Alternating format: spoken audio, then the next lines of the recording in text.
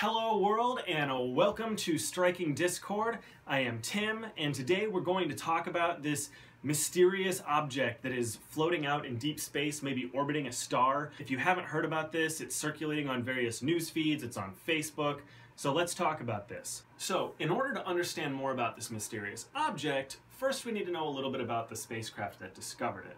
That spacecraft is called the Kepler spacecraft, sometimes called the Kepler Space Telescope. Uh, it was launched in 2009 and is orbiting in our solar system, and its function is to search for and hopefully find potentially habitable Earth-sized planets. So interestingly, the only actual instrument that's aboard the Kepler spacecraft is a photometer. And a photometer is just an instrument that measures intensity of light. And Kepler's photometer measures intensity of light coming from deep, deep in outer space. So you might ask, how does an instrument that only measures intensity of light help us discover actual physical planets out in deep space? Well, I can answer that question with a flashlight, with a K-cup taped to a pencil, and with a lightless room. So, here we have a star orbiting on the edges of our galaxy, and the photons of this star are being picked up and interpreted by the Kepler spacecraft. Now, if a planet is orbiting this star, and it happens to pass between the star and the Kepler spacecraft, the light diminishes. As you can see, the light fluctuates as the object passes in front of the light source, and the Kepler spacecraft interprets those fluctuations. And if those fluctuations occur in regular intervals, uh, say once a year or once every nine months, uh, once every two years or five years, then it can be assumed that that object is an object that's orbiting that star and could potentially be a planet. And then based on the amount of fluctuation of light, scientists can determine if that object is Earth-sized and is an Earth-sized planet. So, getting back to our mysterious object. One of the stars that the Kepler spacecraft has been receiving information from is called KIC 846-2582, and it's about 1,500 light years away from Earth. Now, KIC 846-2582 is located between the constellation Cygnus and the constellation Lyra, but unfortunately you cannot see it with the naked eye, even on a dark night. Now, the Kepler spacecraft has been recording information on this star for, uh, for five years, actually since 2009 when the Kepler spacecraft was launched.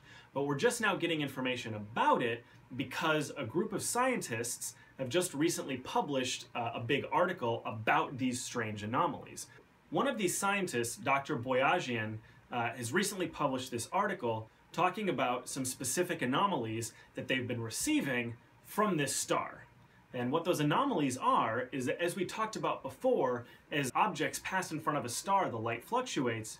Well, this star in particular has given some very strange light fluctuations. So according to this journal, the Kepler spacecraft did record some non-periodic dips of light intensity of inconsistent sizes, but it also recorded two massive dips that are apparently repeating every 750 days or about every two years. So one of these dips lasted for an entire week, which, when compared to the normal duration of these dips in light intensity, uh, is a really long time, and it's been really puzzling scientists as to what has been causing this. If we were to use the flashlight demonstration again, instead of just that K-cup passing briefly in between it, you would imagine the light fluctuating or dimming for an extended period of time, much longer than most planets would create. So Dr. Boyajian has even said in the journal that when they initially got these findings, that they assumed that it was some sort of bad information that they had received.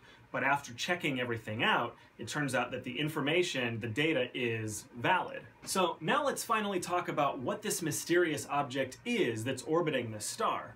There are currently a couple different theories going around the scientific community, um, but unfortunately for all of you believers out there, the most commonly accepted explanation for this light fluctuation is actually a comet that has broken up and produced a large cloud of comet dust that is orbiting around this star. Another theory is that uh, an asteroid field has recently been caught in the orbit of this star and is causing subsequently these fluctuations in light. However, What I'm sure most of you want to hear is that there are also theories that this light fluctuation has actually been caused by some sort of alien megastructure, some huge structure that has been built by an advanced alien civilization out around this star that is orbiting the star but is large enough and wide enough that it's blocking light from the star for such extended periods of time. Hypothetical megastructures such as a Dyson sphere have been talked about in science fiction for decades. In fact, a Dyson sphere, uh, although named after uh, Freeman Dyson, was actually originally written about uh, by a different author in an old science fiction novel called Star Maker. And what a Dyson sphere is, is essentially uh, a solar system sized metallic sphere that would completely surround and envelop a star and would subsequently absorb and utilize 100% of all of the energy that that star gave off.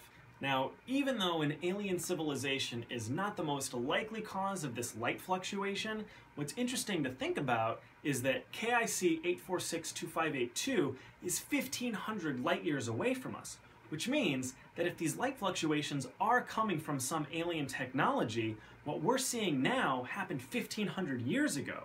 So that means that if there was 1500 years ago some alien civilization out there, that now they either no longer exist or they're 1500 years more advanced than they were from what we're seeing right now. In the coming days, we might find out a little bit more information uh, about this light anomaly, uh, but we probably won't know more until 2017 because uh, this anomaly won't pass in front of the star again until then, uh, and we won't be able to get any more uh, results interpreted until that time. So feel free to believe whatever it is that you want to believe about what's causing these fluctuations in light, uh, but I also encourage you to go out there and read more information. the journal that Dr. Boyajian wrote is actually online. It's called Planet Hunter X, KIC 8462582, Where's the Flux? Uh, and it's available online. If you just Google that name, uh, you'll find it on there. So, hopefully you enjoyed this video. Uh, hopefully you learned something that you didn't already know about KIC 8462582. Feel free to leave a comment. Let me know uh, if there's something that I didn't include in this video that I should have. If you have any questions about what I've talked about, feel free to ask. And uh, give a like, subscribe, and we'll see you next time on Striking Discord.